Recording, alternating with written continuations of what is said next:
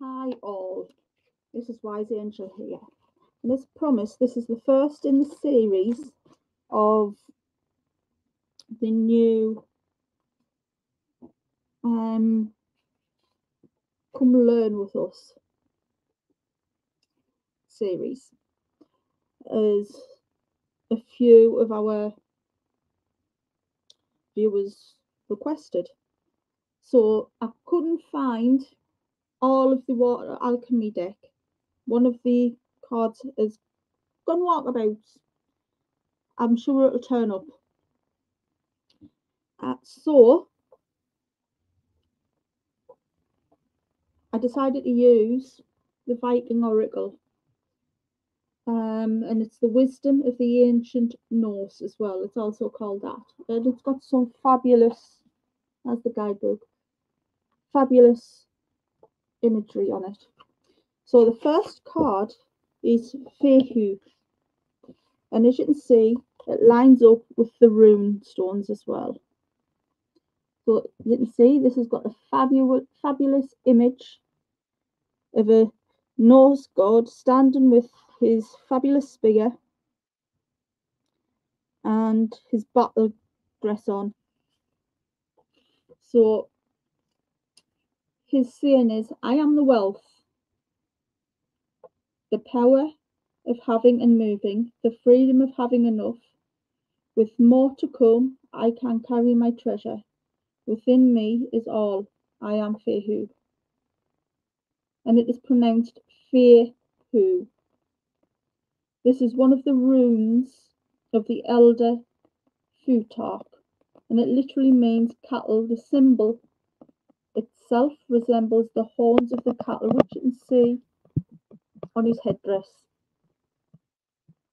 His element is earth, and when reversed, it means you do not know it all, you need more education.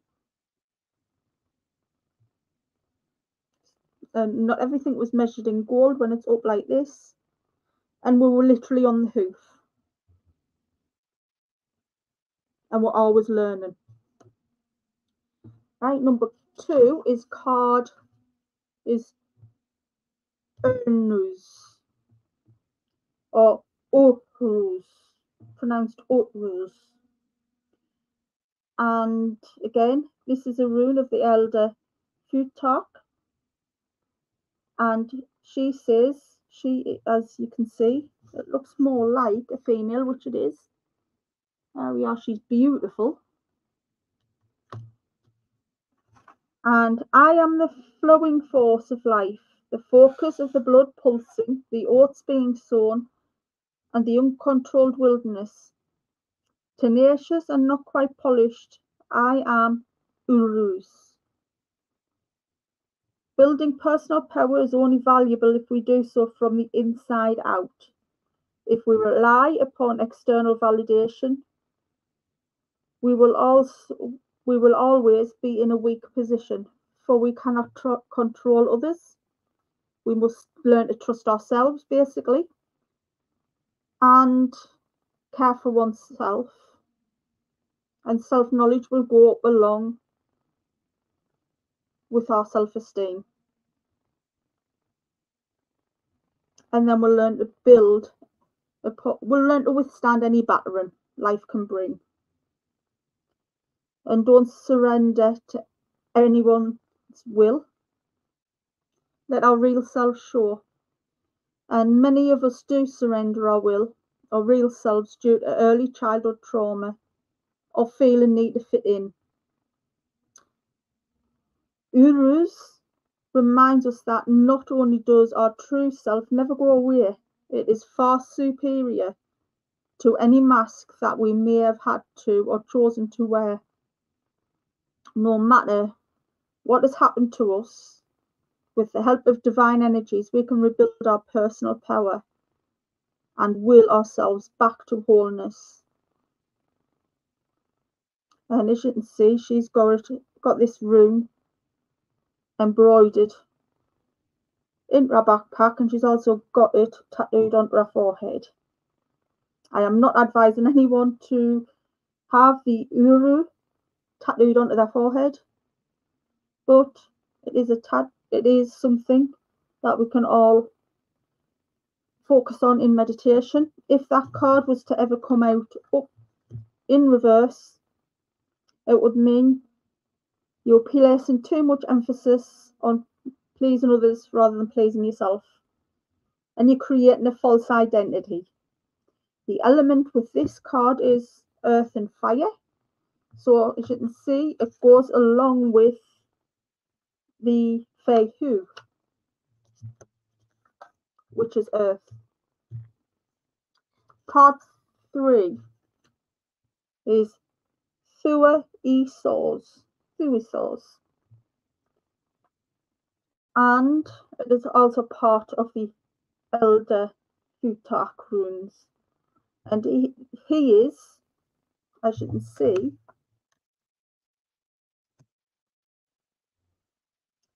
and here eh? he I am the hammer of wisdom. I smash ignorance, exploding smallness, expanding outwards. The thorn no longer in my side. I am Thurisaz.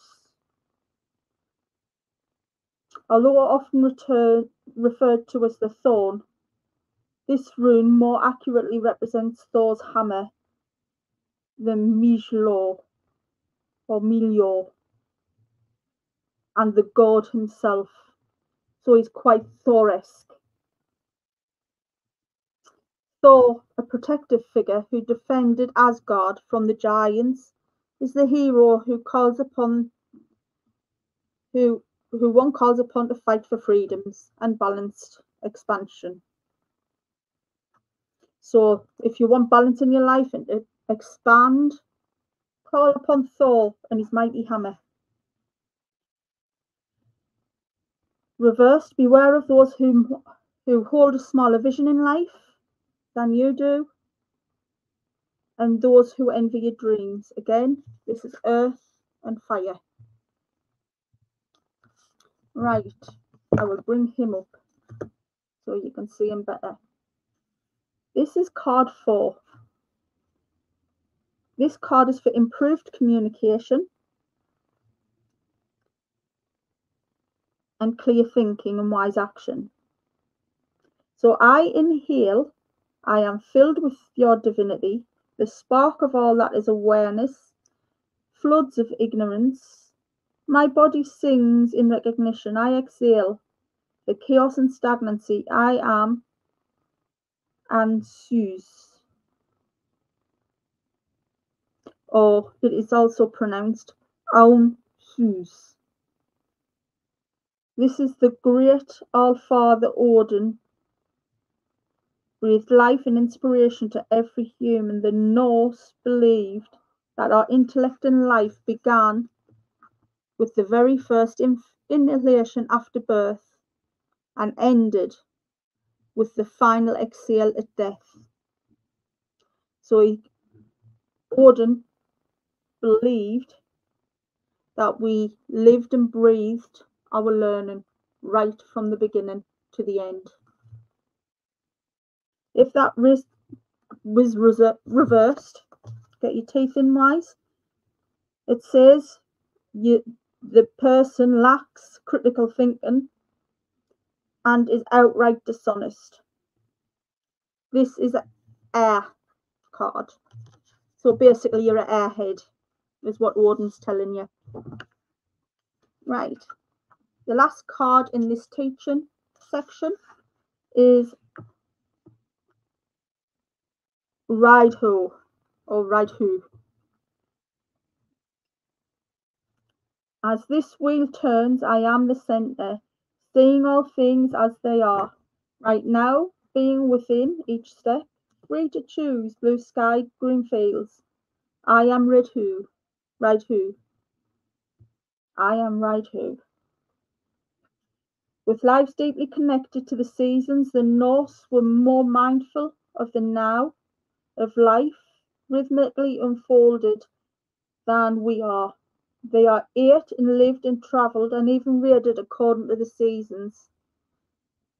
Raidhu, or pronounced Raidhu, a rune that is part of the elder Futhark reminds us to focus on every aspect of the now. Doing so will make each day rich and full of wisdom. Remember, the Vikings were adventurers and pioneers, and they travelled great distances and understood that their journeys were to be treasured as treasured as their destinations. Reversed, being mindful that you are living far too much in the past or in the future. We must make good decisions now. So don't place too much emphasis on your goals or your destination because bad things will happen in reverse. But this is your earth, so you need to keep rooted in the now and just fleetingly think back to the past and into the future. So I'm going to leave you with that now. So a quick recap of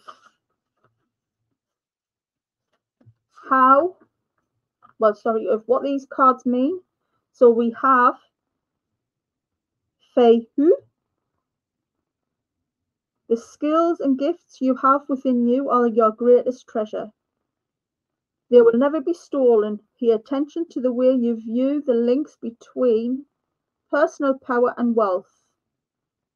Prosperity needs to be developed over time and shared. So he's warning you against greed and envy as well. Then we have Uru. Build personal power ethically from the inside out. Endurance and resilience are important now. Our will can change our fate and forge a path where there is none. Look to your health and vitality, for these may need healing. Thurisaz, do not get drawn in, in unnecessary drama there are many sides to every story, so make sure you research a situation thoroughly before making a decision. Ignorance is no excuse.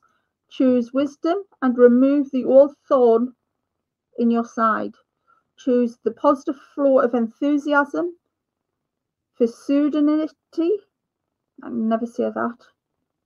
And passion rather than aggression, and small mindedness and force.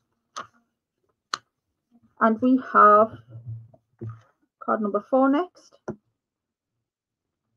We have Aun Sus. Improved communication, clear thinking, and wise action are all great of importance now.